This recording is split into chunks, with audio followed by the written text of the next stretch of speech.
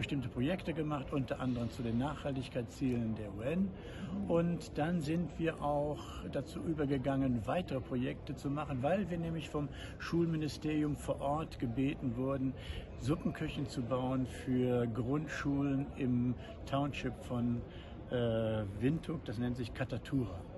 Und dort haben wir 2020 dann begonnen, eine Suppenküche zu bauen und äh, mit Förderung durch Engagement Global ähm, und haben dann sind nicht fertig geworden, weil es zu lang gedauert hat und weil das Material nicht da war und und und. Aber immerhin steht das da und es wurde dann, als neues Geld kam, von der namibischen Seite aus weitergebaut. Denn das ah. Besondere an dem Projekt war, dass wir mit deutschen Handwerkern, Auszubildenden runtergefahren sind und dort mit namibischen Auszubildenden diese Suppenküche gebaut haben oder angefangen haben zu bauen. So, und jetzt, äh, dann kam Corona und jetzt fahren wir wieder im September, Oktober darunter und versuchen da weiterzubauen und vor allen Dingen auch äh, wir wollen gerne ein deutsch-namibisches Begegnungszentrum bauen. Alle Zuschauer wissen von den geschichtlichen Problemen, die Deutschland mit Namibia äh, gehabt hat und dieses Genozid, was da abgelaufen ist. Und dass wir dazu beitragen wollen, dass sich die deutschen Jugendlichen und namibischen Jugendlichen besser verstehen oder Vereine oder was auch immer. Super, hört ihr? Und ja, das äh, beseelt mich und gibt mir auch so in meiner äh, Pension äh, Betätigungsfeld genug, um Schön. das zu tun. Super, super. Haben die denn dort, ich muss mal ganz dumm fragen, ansonsten nicht regelmäßig zu essen bekommen?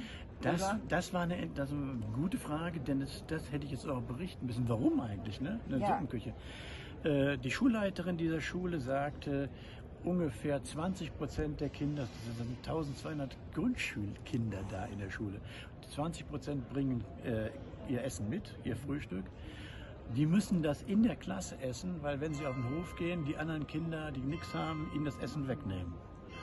Und dann gibt es da immer noch eine kleine Schulspeisung, aber das ist natürlich auch von der Dimension größer bei 1200 Kindern. Und äh, ja, deswegen sind wir froh, das machen zu können. Eigentlich ist der Bedarf noch viel größer, mhm. aber das kriegen wir auch finanziell im Augenblick nicht gestemmt. Mhm. So, mich beseelt, da weiterzumachen, das Erlebnis mit einer Lehrerin in dieser Schule, die sagte, ähm, ich wollte eigentlich aufhören mit dem Unterrichten, weil ich für mich und die Kinder keine Hoffnung sehe. Aber dadurch, dass Sie ihr die Suppenküche anfangen, habe ich wieder Hoffnung bekommen.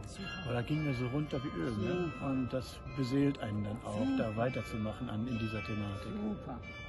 Also das ist ja wirklich ein Thema, wo man sagen kann, danke, danke, danke, dass ihr euch da mit einbringt mhm. und mit denen gemeinsam versucht, irgendwas für alle zur Besserung beizutragen. Ja. Die brauchen das auch, die müssen Hilfe zur Selbsthilfe bekommen. Ja. Weil äh, in, in, Namibia gibt es keine Reparaturmentalität, sondern die müssen gezeigt bekommen, hier, da, das musst du so und so und so machen. Oder, und, aber auch, man, man lernt dann Leute kennen, die, die Improv das Improvisationstalent der namibischen Handwerker ja. und die Akkuratesse unserer Handwerker zusammen gibt ein super ja, Ergebnis. Super, super, ey, das ist ja genial. Ja, klasse.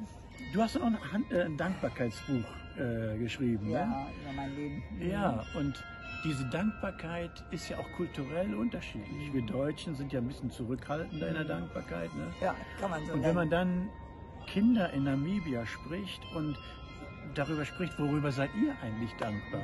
Das haben unsere Schüler dann auch getan.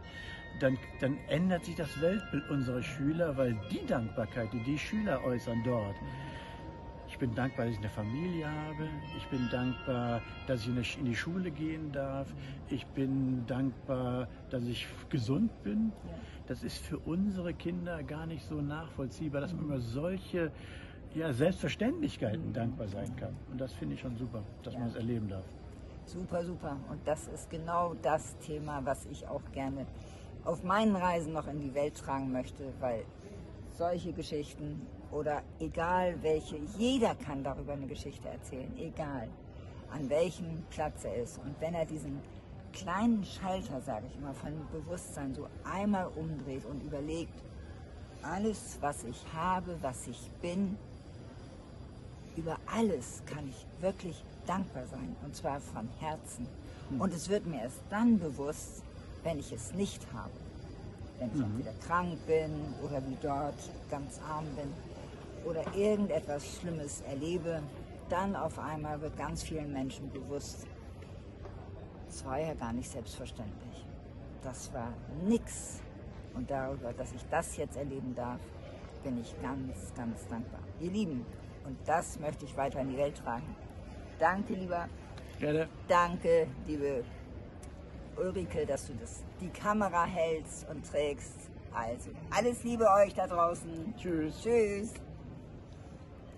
Und jetzt